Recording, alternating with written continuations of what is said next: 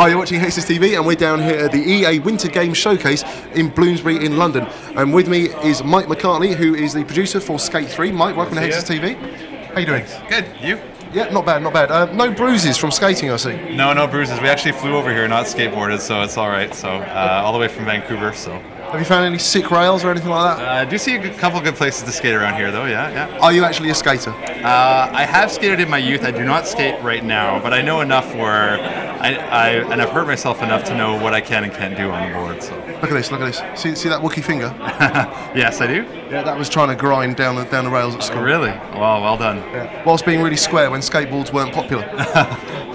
I was, I was sad. A- Anyway, uh, Mike, let's get let's get off of injuries. Sure. Let's talk about Skate 3. Um, and if you're wondering, we're not allowed to show any footage of it just yet because um, it's, it's, still, it's still under wraps, isn't it? Yeah, we're still we're just uh, early in development. We're coming out in May 2010, so we've got about six seven months left in development. So we're fairly early, but uh, it's definitely coming soon.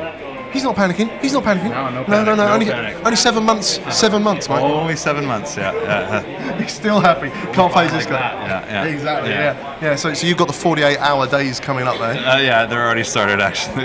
Really, that early? No, no, no. Yeah, they're coming up though. Yeah. Okay, so let's talk a little bit about Skate 3. What what can uh, a- a skate fan expect to see in the new game? The big new feature this year is teams. We're really uh, we've noticed our community in the first two games. Uh, we're doing this on their own already, and they're forming up with their friends.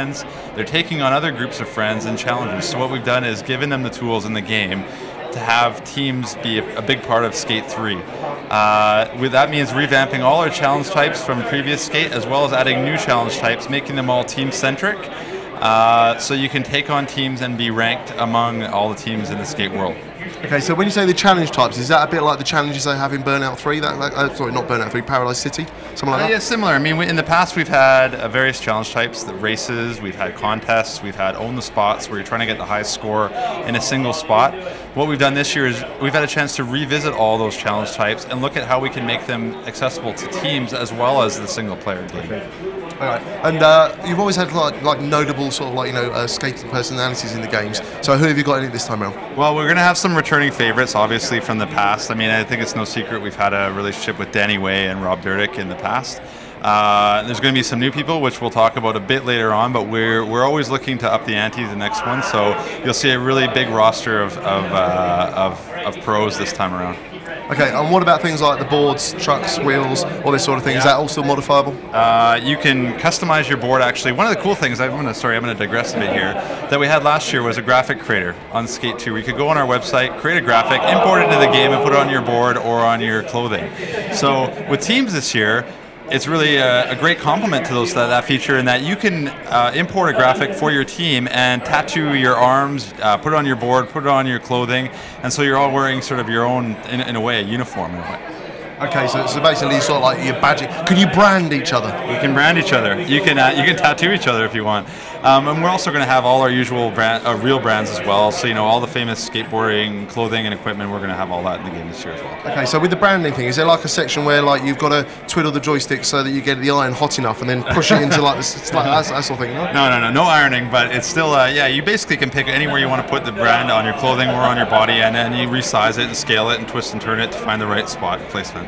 Okay, so uh, so this is obviously online. Yeah. So everybody else can. So will people outside of your team will you be able to play against them? Uh, yeah, you can play. Well, on your team, are you asking? Uh, no. If your, can your team challenge another team online? Yes, absolutely. That's that's that's the the big thing we're showing here. Actually, is the fact that your team can take on other teams in contests, and what we found is it's really fun. There's a lot of trash talking, and uh, you know a lot of competition, and people get really competitive and want to win. So it's, it's added a whole new element to our game, which we're really excited about. So time with the graphic design. It's not going to be long until you've got teams going around with big cocks. Are? Yeah, sure. I mean, we, we saw a bit of that in the last game, but we also moderate our, our website, and uh, the logos are all hosted on our website, so we can pull them down if they're offensive or anything like that, and we're, we're really tight on that stuff. Okay. All right. So so you don't let it get too out of hand, basically. no, no, no, no, no. All right. Okay. So, um, your personal favourite point in the game is, is, is it like a moment that people should look out for, or something which is just like you just go, that's just so cool. You know, I, I hate to harp on the teams thing, but the,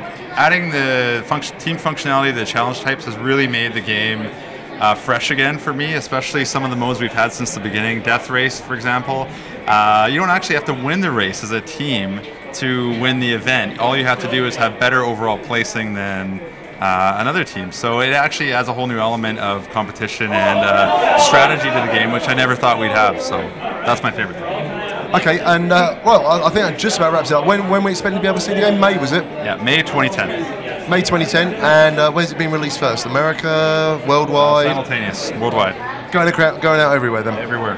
You better have a word with the uh, Army of Two guys because they're doing Europe first and then America. I haven't. I didn't know that. Yeah, yeah, they just told me. So apparently the Americans are going to get really fed up with that. anyway, there you go. That's Mike McCartney, who's the producer for Skate 3. Um, hopefully we'll be able to get uh, some hands-on time with the game after we finish. Absolutely. Yeah, okay, well I'll go and get my pads and helmet on then because I'm just going to otherwise end up with my nuts straddled either side of a, of a rail. So uh, Mike, thank you very much. No problem. Nice to meet you. Cool. Uh, check back soon on HEXUS TV for more from the EA Winter Games event down here in Bloomsbury, London.